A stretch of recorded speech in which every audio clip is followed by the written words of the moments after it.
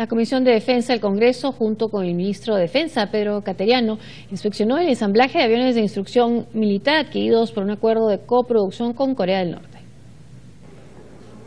Llegaron hasta la base aérea de Las Palmas para inspeccionar el ensamblaje de los aviones KT-1P, adquiridos gracias a un acuerdo de coproducción firmado entre el Perú y Corea del Norte.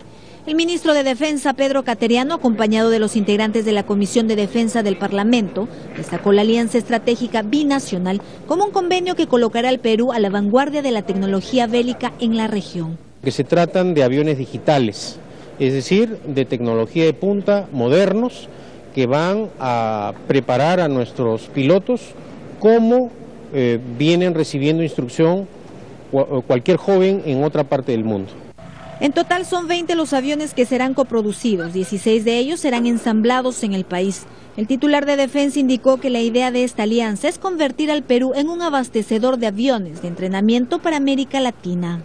No solamente es un acuerdo comercial, sino es una apuesta al futuro, porque la idea es que más adelante, en base a esta experiencia, podamos abastecer de esta clase de aviones de entrenamiento a la región y a toda América Latina.